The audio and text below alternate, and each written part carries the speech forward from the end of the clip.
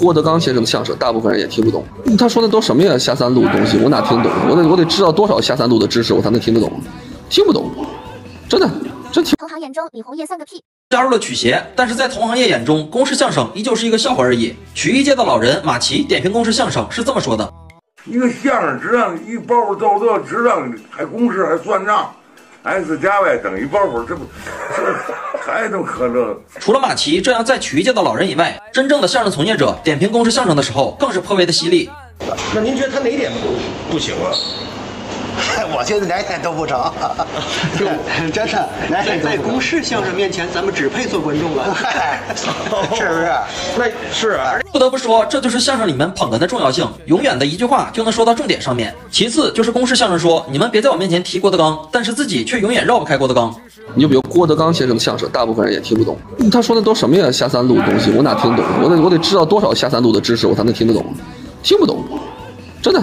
真听不懂，嘴上说着自己从来不听郭德纲的相声，但是身体却很诚实。在二零零五年的时候，老两口带着相声《我这一辈子》登台演出，公式相声李红叶在后期上演了一个东十三楼，内容不能说完全相似，但是也可以说是一毛一样了。其次就是李红叶一直在说郭德纲的相声中伦理哏自己从来不用，但是不得不说的就是自己又打了自己的脸。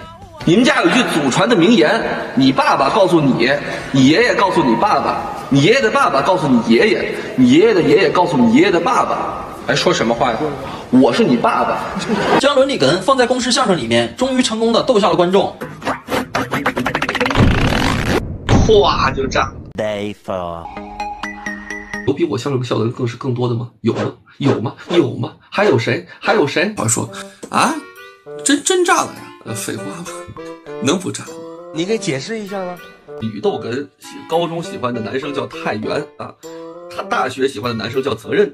在交大有著名的一堂课，选择交大就选择了责任啊。后来太原选择了责任啊，这么说太原考上了交大，呃，说错了，太原选择了出国留学哦，去哪儿了？请问太原去哪儿了？好家伙，这那谁猜得着这玩意儿？答案就是太原啊，他他确实去了太原，这是出国吗？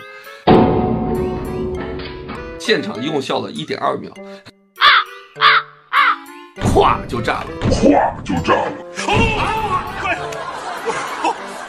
啊，两个人在在台上说，我特别喜欢谈恋爱啊，说你也太饥渴了吧？你看我只只要女生我就就喜欢你，比如说我们楼下阿姨，哎哎哎，阿姨都五十多了吧？啊，阿姨啊有个女儿，那也三十多了吧？啊，阿姨的女儿还有个女儿，啊还没满月呢。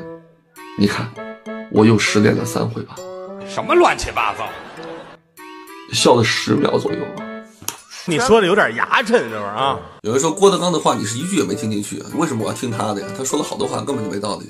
比如他曾经说过这么一句话：打破规则，他得是内行打破。我们要内行才能打破一个行业，对吧？我告诉你啊，打不破。所有创新成功的人都是外行，因为但凡创新，他就要把自己原有的东西全扔掉。有人说了，抛弃传统相声，这就值左右开弓一千四百个大嘴巴。有现成的你不用，你非得抛开了，单凭你一个人，你干得过一百多年这么些老前辈的智慧吗？就懂的都懂，不懂就算了。啊，就这种大包袱呢，真的是有的时候懂的都懂。你拿我当傻子了是吗？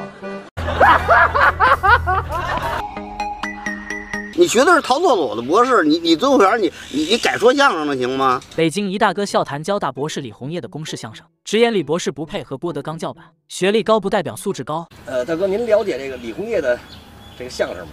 啊，我这个在网上看了看啊，您觉得他说的怎么样？他说的不怎么样啊，他不是一个路子，他怎么能说相声呢？交大博士。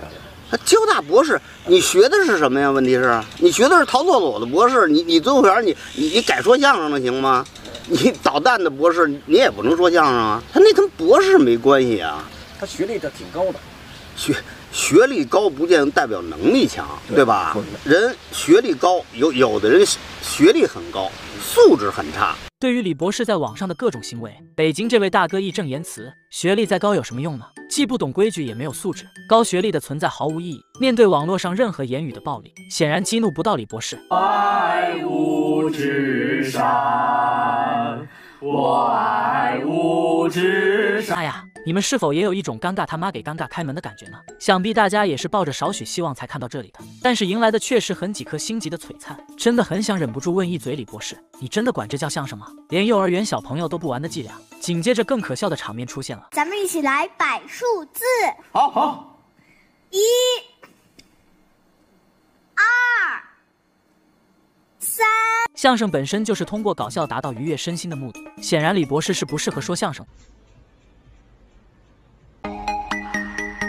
很多相声门里的人都说过，这说相声的他就没几个好人。从表面上看，哎，也确实是那么回事儿。但是要说下了台就把这张老脸往那一放，干脆就不要了的，那也真的是不多。哎，看看这位就是其中一个。有没有遇到过观众拆包袱的情况？有，怎么办？我们北京人讲话惯的，管住您的嘴，您给我们来点笑声，然后。把您的双手举起来，给我们鼓鼓掌。现在这都嘛年代了，还能说出来反对跟观众互动这种话？这思维不是穿着尿不湿的，就是半天尿不净的。龙哥呀，现在的观众欣赏水平提高的多快，你知道吗？还以为是三十年以前那么好糊弄是吧？啊，也难怪，就你们这帮人家票啊，卖不出去。观众接下茬那都是耐你，你懂吗？台上台下互动现挂，那才是一场。相声最精彩的部分，更是你们相声演员演到现场的高光时刻。真正有水平的演员，就是利用这种现挂出彩。哦，对不起，我忘了。伦哥你了不具备这水平啊！另外，伦哥的词儿他不出在舞台上，他都是在上级领导那个办公室了。怎么着？还让观众闭嘴？你快点关了吧！观众那是衣食父母，你知道吗？想让爸爸们闭嘴，你就得有点那乐了劲得的玩意儿。你使那个活，观众比你还瓷实了。你让谁闭嘴呀？啊！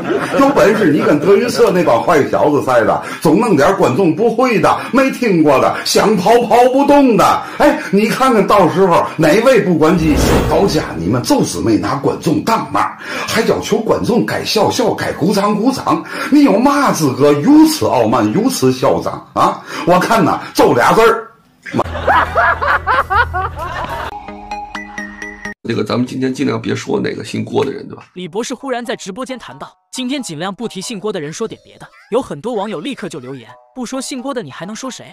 不过他还是提到了老郭，还说老郭没有生活经验，所有理论都是瞎掰出来的。他呢，就是是没有生活经验啊。他会说，他是说，任何的创新都得是内行，还得是内行里的精英，就是没有生活经验的人瞎掰掰出来的理论。所以，同样没有生活经验的粉丝会非常信这个理论啊。其实他是没见过，没见过真正的创新的人，一定是外行，一定是原体系里的外行。为什么呢？因为原体系里面，但凡是内行的人，他有吃有喝，吃好穿好。为什么要做创新？创新是颠覆，创新是完全抛弃了自己原有的东西，这是非常非常容易出问题的东西，是非常有可能万劫不复的。如果你有吃有喝，你怎么可能会抛弃这样的东西，然后去做一个创新呢？只有你必须要生存，你不创新就是个死。正当郭德纲徒弟们弘扬传播中国传相声的时候，李大博士又说了一些话，让人哭笑不得。李老师，传统相声未来可期吗？我告诉你啊，传统相声未来特别可期，知道为什么吗？因为等我死了之后，我的相声全部都会列为传统相声，所以你觉得未来能不可期吗？太可期了。这个破格进入驱邪的人，相声界演员不演员，作家不作家的李大博士又跑出来胡咧咧。看到这里，你们觉得他可悲吗？整天坐在直播间里和网友抬杠，不是这块料非要硬挤，真的诠释了什么叫不务正业。要知道，李红叶混迹相声圈多年，没有一个自己的作品，却自命不凡的讽刺那些辛勤工作的演员，太没有自知之明。大家都说他之所以这样，是为了碰瓷，增加热度。我跟你打不及格，所所以呢，我我就是说，你在这个产生这个超级武器或者是生产线的过程中，你有没有师承哪派？或许是大博士看清了事态，做一个戏精比做科研来钱更容易些吧。有网友调侃道：“虽然说相声的郭老师没有进博士门，但是有学历的李红叶却没有进相声门。”有网友在评论区喊道：“我宁愿我的孩子是初中没读完的郭麒麟，也不要孩子读博士成你这个样。”红叶的态度总是洋洋得意，以高学历自居，却不知自己在别人眼里早已活成笑话。话说，在相声界有那么一位非遗传承人，你们也知道是谁，但是我还是要说说，你们还是得听听。在想当初，朱绍文创立相声行当，自取一名穷不怕。马三立十二岁拜师，从艺八十余载，得名相声泰斗。侯宝林承上启下，去伪存真，将相声带入大雅之堂。郭德纲挽狂澜于既倒，扶大厦之将倾，以一社之力，令相声起死回生，再创。